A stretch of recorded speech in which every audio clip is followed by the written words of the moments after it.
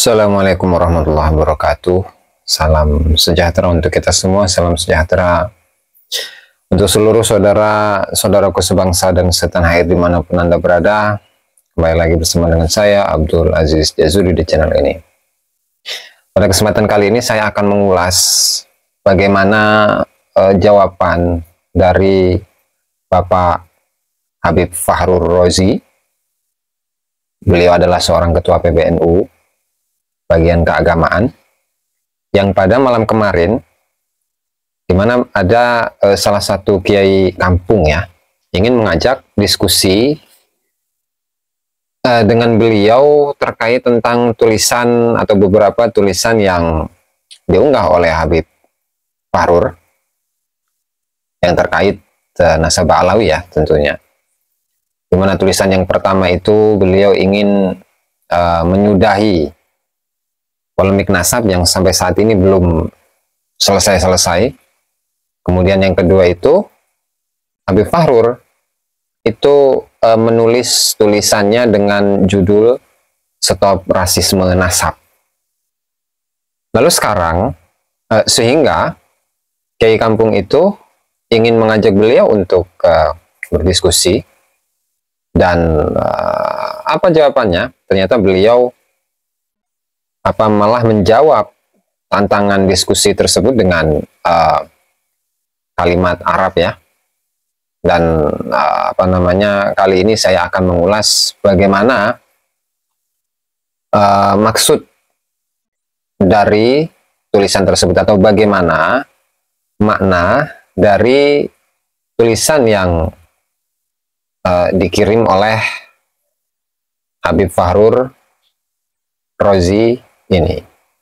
Di mana yang beliau tuliskan itu adalah kul masyita fi masabbati irdi fasukutu anil laimi jawabun lastu adimatal jawabi walakinnal asada atau walak walakinil asadu la yaruddu alal kilabi. Ya seolah-olah uh, apa namanya tujuan dari ini atau uh, makna secara ringkas dari apa yang ditulis itu uh, beliau akan hanya diam di depan banyak orang yang mengeroyoknya dengan ucapan-ucapan ya. Barangkali seperti itu. Dan kalau kita lihat maknanya secara harfiah, Kul masyita fi masabbati aditi, katakanlah apa yang kamu inginkan dalam mencaci maki harga diriku. Fasukutu anil laimi jawabu, maka diam itu diam maka sikap diam dari orang yang lacut, dari orang yang tercela itu adalah sebuah jawaban. Dan ini tentu senada dengan apa yang disampaikan oleh Imam Syafi'i radhiyallahu taala anhu dalam uh, diwan syairnya ya. Idza nataqa safihu fala tujibhu fa khairun min ijabatihi sukutu. Idza kallamtahu farajta anhu wa idza sakata anhu kamdan yamutu. Ya, intinya sama, hanya saja ketika uh, kita lihat bagaimana redaksi dari kalimat yang setelahnya lastu adi matal jawabi dan saya tidak atau bukanlah orang yang tidak memiliki jawaban. Bukanlah saya ini orang yang tidak memiliki jawaban tapi ini menggunakan redaksi adi mata yang itu menunjukkan kepada seorang perempuan ya. Ya mungkin beliau kopas barangkali ya bukan bikinan apa beliau sendiri karena yang lebih tepat itu tentu karena beliau itu muzakkar ya. Sehingga las yang benar lastu adimal jawabi bukan lastu adimatal jawabi. Ya. Artinya saya bukanlah orang yang tidak memiliki jawaban.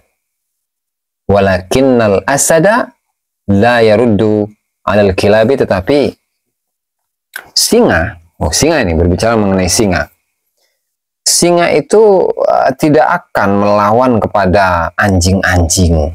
Nah, maka di sini seolah-olah beliau ini tentu tasbih ya kalau dalam bahasa apa namanya ilmu balawah ini adalah tasbih tasbih maknawi. Dan tentu ketika berbicara tentang tasbih maka di situ ada, ada wajah syabah di mana beliau menyerupakan dirinya dengan seekor singa. Tentu ketika berbicara mengenai singa pasti uh, ada kesan pemberani ya ada kesan pemberani, kemudian dia itu tidak takut oleh apa pun, tidak takut cacian, makian, bahkan bulian.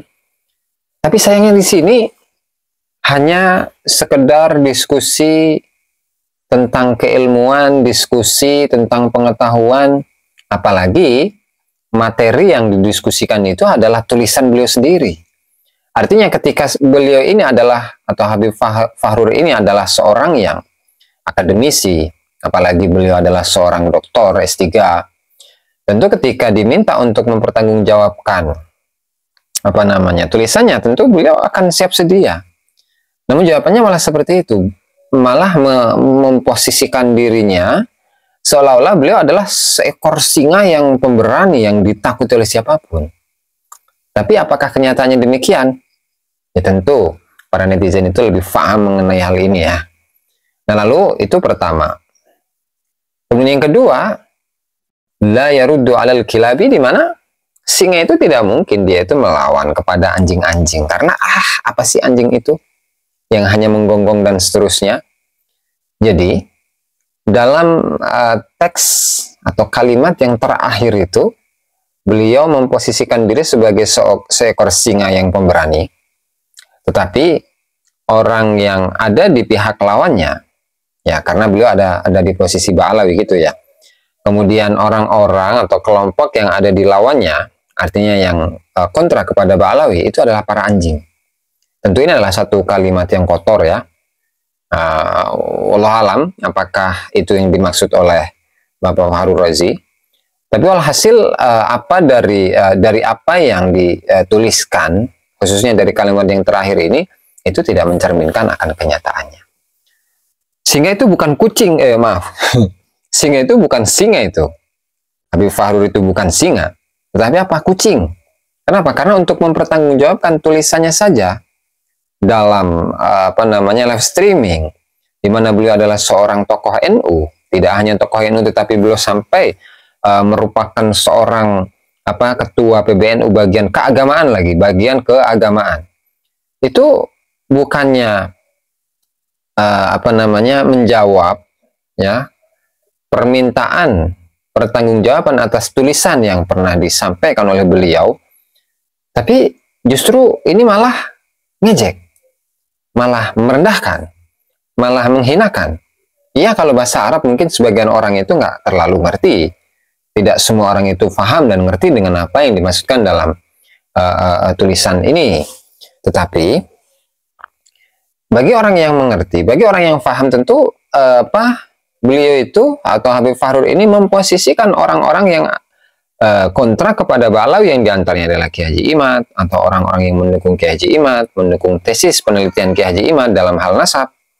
Itu posisinya seperti anjing-anjing atau para anjing. Tentu ini adalah salah satu atau merupakan kata-kata yang kotor ya. Kata-kata yang kotor ya meskipun ini adalah bahasa-bahasa balaghah gitu kan uh, apa namanya uh, bahasa balaghah yang sisi keserupaannya itu atau wajah syabahnya itu apa? Itu kita pengen tahu sebenarnya ini wajah syabah dari uh, al-asad ya yang tidak sesuai dengan kenyataannya ya. Beliau memposisikan dirinya sebagai se seekor uh, singa itu bukan singa, bos. Bukan singa itu Bifarur, tetapi itu adalah kucing. Jadi bukan bukan apa singa yang ada di hutan, tetapi kucing yang ada di kandang. Itu ya. Terlebih lagi ketika berbicara tentang Nahdoh ya. Nahdlatul Ulama kan PBNU. Pengurus besar Nahdlatul Ulama. Berbicara Nahdoh berarti kan berbicara tentang kebangkitan.